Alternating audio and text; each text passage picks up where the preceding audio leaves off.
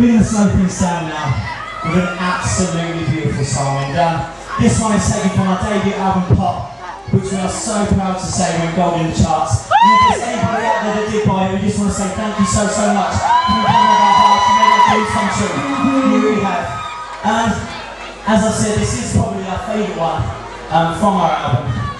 This is Better Love Me. I've wasted too much